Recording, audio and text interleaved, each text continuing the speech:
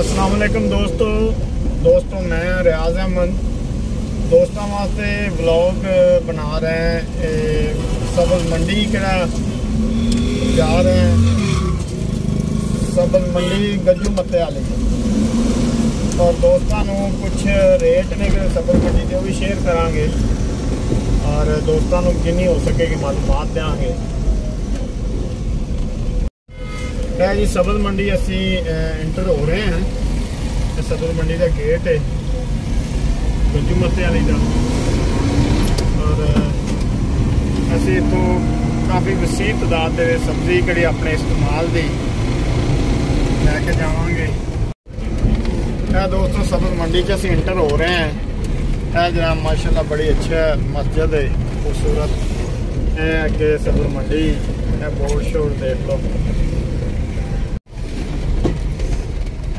ਉਸ ਫਰੂਟ ਵਾਲੀਆਂ ਰੇੜੀਆਂ ਨੇ। ਤੇ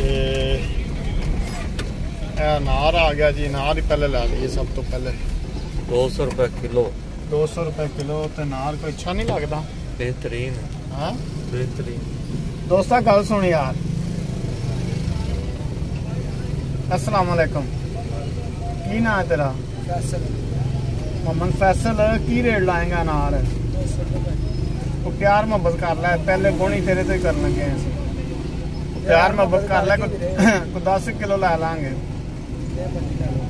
ਪੇਟੀ ਕਿੰਨਾ ਹੁੰਦਾ? ਪੇਟੀ ਕਿੰਨਾ ਨਾਰ ਹੁੰਦਾ? ਪਤਾ ਨਹੀਂ ਵੱਡੇ ਭਾਈ ਨੂੰ ਪਾ ਕੇ ਦੇ ਦਿੰਦਾ ਅੱਛਾ ਪੇਟੀ ਕੋ 12 15 ਕਿਲੋ ਤੋਂ ਹੋਏਗਾ। ਤੂੰ ਦੇ ਦੇ 15 ਕਿਲੋ ਨਾਰ ਕੋ ਮناسب ਰੇਟ ਲਾ ਲੈ ਭਾਈ ਨੂੰ ਪੁੱਛ ਲੈ ਯਾਰ। ਦੱਸਿਆ ਆ ਤਾਂ ਤੇਰੇ ਬੜੇ ਅੱਛੇ ਨੇ। 10 20 ਰੁਪਏ ਕਿਲੋ ਮਗਰ ਕਮਾਈ ਨੇ ਬਹੁਤੇ ਨਹੀਂ ਕਮਾਈ ਜ਼ਿਆਦਾ ਵੀ ਤਾਂ ਲਾਇਆ ਲਾਇਆ ਭਾਰਾ ਪਾ ਕੇ ਪਾਈ ਦੇ ਵਿੱਚ ਥੋੜੀ ਮੁਹੱਬਤ ਕਰ ਲਾ ਯਾਰ। 180 ਰੁਪਏ ਭਾਈ ਆਈ ਜਿਹੜੇ ਮੱਬਲ ਇੱਥੇ ਕਿਹੜੀ ਕਰੀਏ ਫਿਰ ਜੇ ਸਾਡਾ ਸਾਡੀ ਦਿਹਾੜੀ ਇੱਥੇ ਖਲੋਗੇ 10 20 ਰੁਪਏ ਨਹੀਂ ਅਸੀਂ ਲੈਣੇ ਕਿਲੋ ਮਰ ਚੱਲ 10 ਰੁਪਏ ਲਾ ਲਾ। 190 ਲਾ ਲਾ। ਲਗਾ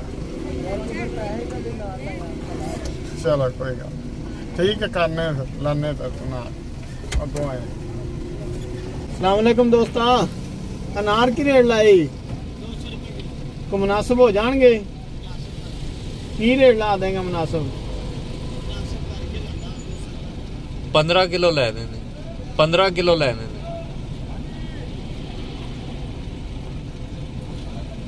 पंद्रह किलो अनार लेने ने पंद्रह किलो को मुनासिब रहेगा अनार पे पंद्रह सौ रुपये घड़ी बारह सौ रुपये घड़ी उतनी है कैमरा जी हजार रुपये घड़ी ਨਾਲ ਤੇ ਪਹਿਲੇ ਆਣ ਕੇ ਵੇਖ ਹੁੰਦਾ ਤੇ ਪਤਾ ਸਾਰੇ ਮੋਟੇ ਨਾਰ ਨੇ ਦਾਦੀ ਖਰਾਬ ਨੇ ਸਾਫ਼ ਸਾਬਤ ਨਾਲ। ਠੀਕ ਹੈ। ਚਲੋ, ਧੰਨਵਾਦ।